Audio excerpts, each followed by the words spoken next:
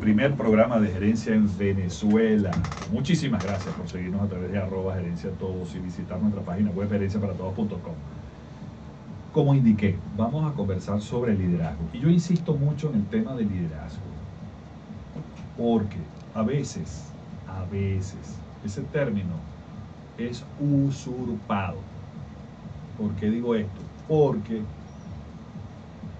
a veces hay personas que se autodenominan líderes y de verdad que es un tema que a mí me apasiona, me preocupa, pero también cabe destacar que es necesario aclarar qué es un verdadero líder.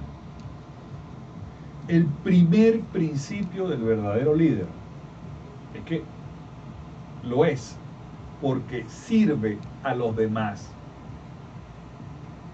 No es al revés. Hay personas que pueden pensar que el, líder es servido por los demás y es todo lo contrario. El verdadero líder es quien sirve a los demás. Ahí reside su fortaleza en servir a los demás. Por eso está ahí. Un líder, o mejor dicho, una persona que sirve a los demás y que lo hace de una manera inconfundible, va a ser reconocido como líder. No tiene ni siquiera que autodenominarse, simplemente lo es. Igual que aquellas personas que dicen, yo soy líder, pero le dicen a sus equipos, ni siquiera quiero decir que son sus liderados, le dicen a sus equipos o a sus, entre paréntesis, subordinados, les dicen, hagan, vayan, sigan, en, en lugar de decir, vamos, sigamos, hagamos. Es decir, ellos no aparecen nunca. Entonces, son, son líderes. Es muy importante que identifiquemos eso. Hay personas que pueden ser jefes, porque fueron, fueron colocados en una posición, son jefes, pero quizás no son líderes. El líder, vamos a decirlo así, surge de una manera natural y es reconocido naturalmente y los demás le otorgan esa capacidad de líder. No es algo que se otorga a él a sí mismo. Ese, ese título es otorgado por los demás a esa persona. Por eso yo siempre insisto en que el liderazgo es situacional. Y a todos nos ha tocado ser líderes.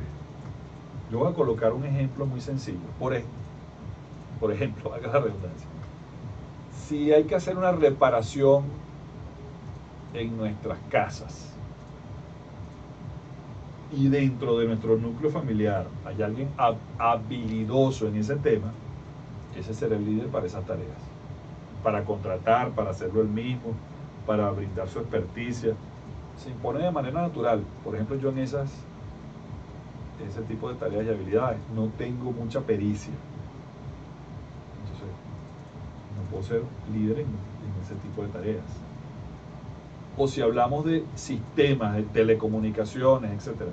Bueno, hay personas que son las líderes en ese campo. Y así cada especialidad ejerce un liderazgo determinado. Por eso el liderazgo es situacional. Hay personas que tienen un liderazgo natural, por ejemplo, en habilidades sociales y ese tipo de cosas, que si tienen un buen rendimiento ejercen una capacidad de innovación sostenible y sirven a las comunidades, pues surgen como líderes. Por eso el liderazgo que no es verdadero no se sostiene, no tiene manera de sostenerse. Es muy importante que el verdadero líder tiene la capacidad de comunicar y de mejorar las competencias de sus equipos y de crear,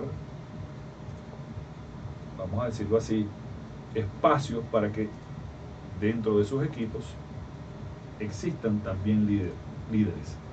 El verdadero líder es líderes, es líder de líderes. Repito, el verdadero líder es líder de líderes. Tiene la capacidad, si verdaderamente es un líder,